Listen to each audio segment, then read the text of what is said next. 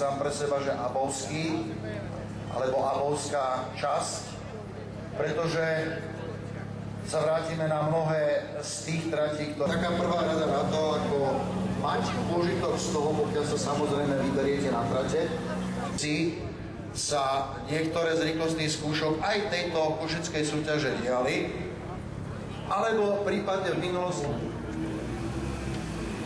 pedále až po podlahu. No a zo 46 Tomáš Fusko s Jakubom Slovákom, Ela Sikty, ktorý sme si už niekoľkokrát predstavovali. Toto je ďalšia dvojica reprezentantov tohto týmu a vozidlo po tretíkrát Peugeot 508 VTI R2. Tomáš,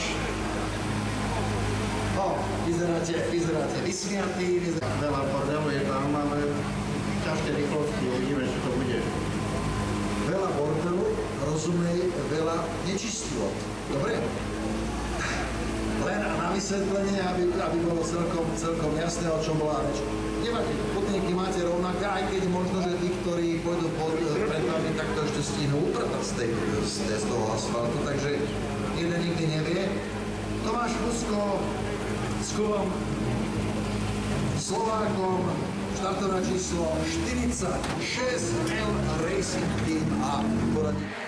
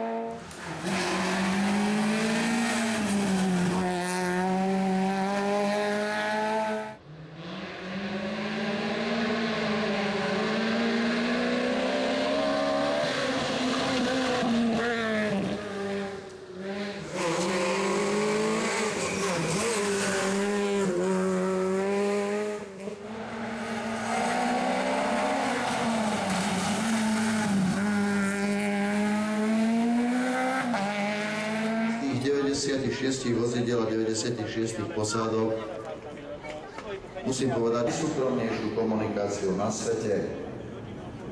Má dve verzie, slovenská verzia má zaujímavý názov Červený mravec, anglická verzia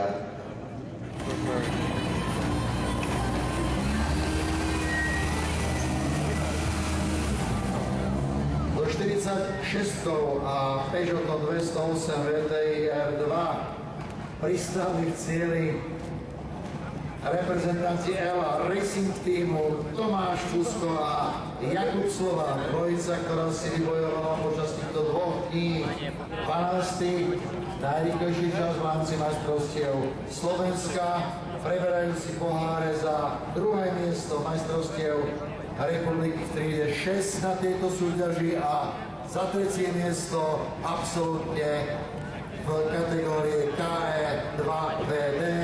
Tomi, slovo po súťaži aké? Ťažké preteky. A nemám ďalej slov, ale možno trošku spolahlivosti techniky, bolo to, bolo to od začiatku po konec v pohode, alebo, ani, alebo som tam na čo si vyskytlo. Kladivo a iné presvedčovaky pomohli a tak túto dvojicu môžeme privítať cieli a sme radi, že zároveň si odtiaľ to odnášajú aj zaujímavé trofeje. Ešte raz opakujem za druhé miesto v triede 6 a za tretie miesto absolútnom hodnotení kategórie KE 2VD.